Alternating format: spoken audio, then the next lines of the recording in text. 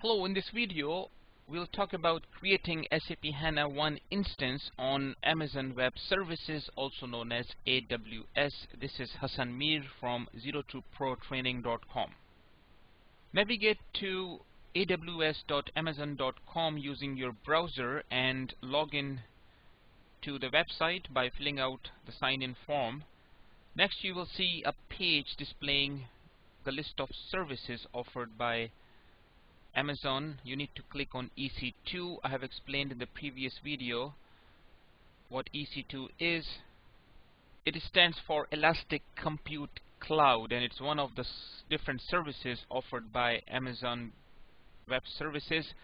It allows you to launch instances with variety of operating systems like Windows and Linux and these instances are scalable in a matter of minutes. In terms of CPU resources, memory, disk space, etc. Next you will see EC2 dashboard and from here you need to click on instances option that you see on the left side under instances section. Here I see the message that I do not have any running instances and you see this button launch instance click on that button there are multiple ways of launching an instance I'm gonna stick to the classic wizard and I'm gonna click on the continue button that you see on the lower right side. There are tons of instances that are offered by AWS and I'm interested in the SAP HANA 1 instance. So I'm gonna take use of this fourth tab here AWS Marketplace and I see this search field here I'm going to enter SAP HANA 1 and click on the go button. A new tab is going to be opened and on that tab you can see information on SAP HANA 1 on SUSE Linux.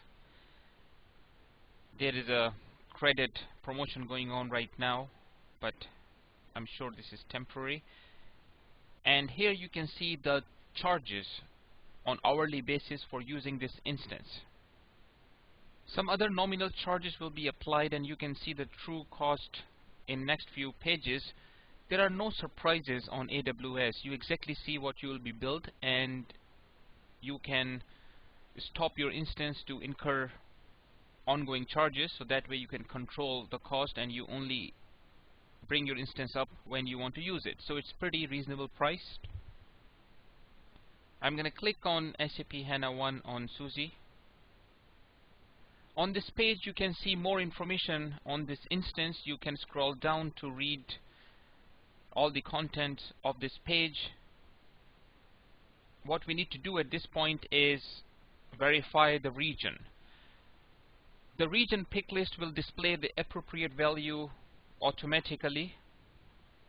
Amazon Web Services have multiple data centers and the data center that should be selected by default is the one that is nearest to you. Otherwise you can change it if you like but typically you shouldn't need to. Okay so I am on east side of North America so that's why I see east here.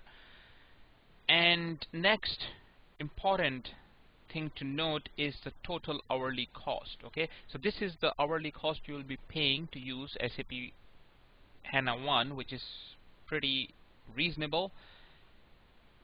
And once you are done using the instance you should bring it down to prevent incurring of the ongoing cost. I'm gonna click on the continue button. On the next page you will see some more information. Now take a look at this monthly estimate section. Let this number not scare you okay? Because this is only if you let this instance running 24 by 7 for the next 30 days.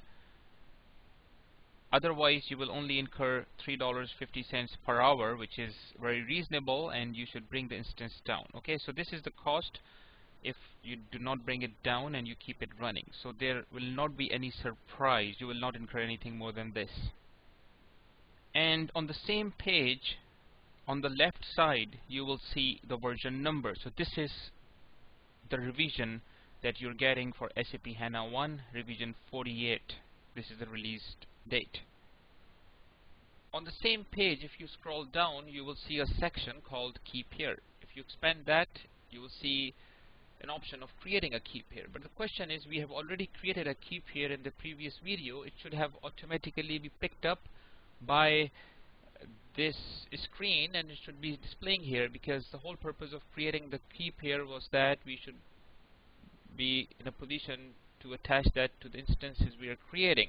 Now let's click on this uh, link here, visit the Amazon EC2 console to create a new key pair. So this is the window that lets you create a key pair, but the question is where is the key pair we created? So let me show you what happened.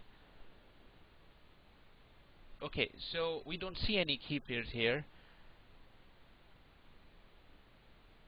Okay, if I scroll to the right, you see my name and here is the region because key pairs are specific to the regions, to the data centers that uh, we we choose to use for the instances that we are launching. Okay, so for for for me, the closest data center is, as I picked up, was East,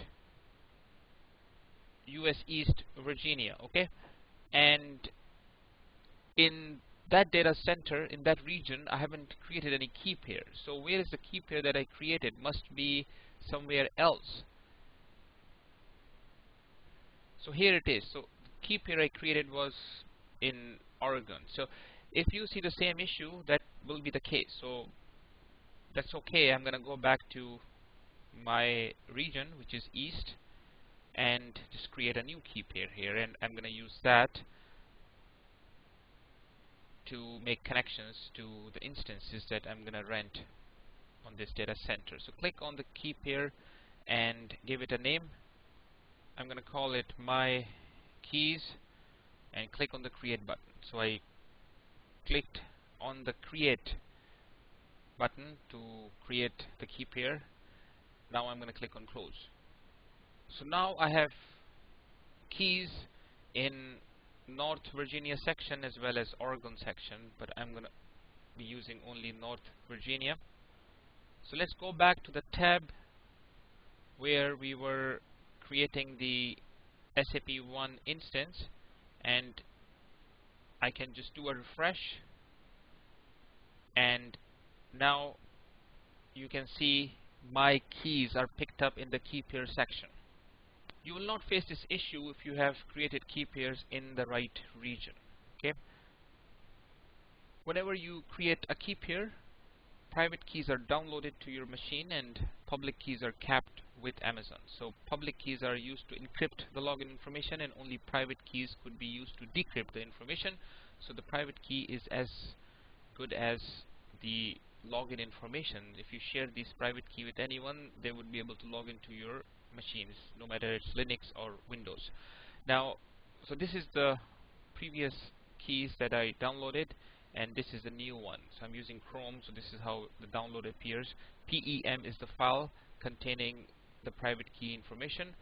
But if you're using a different browser or different operating system the download will happen differently but download will happen later on we will talk about how to use this PEM file to make connections to the Linux and Windows machines. Okay, so it's time to move forward and you must click on this end user license agreement and AWS customer agreement and click on accept terms and launch with one click.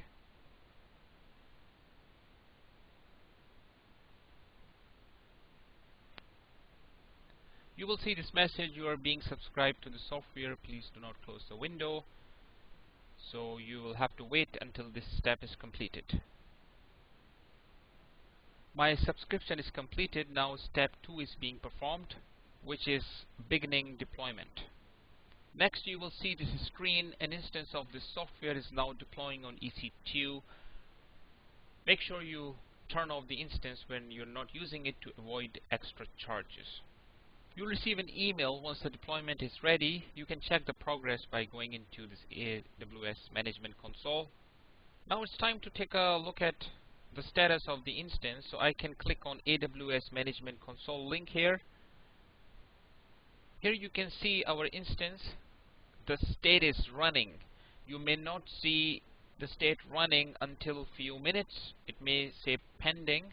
Eventually it will say running now it's time to give your instance a name. So I can click on this pencil here click to edit and let me call this my SAP HANA 1 click on the save button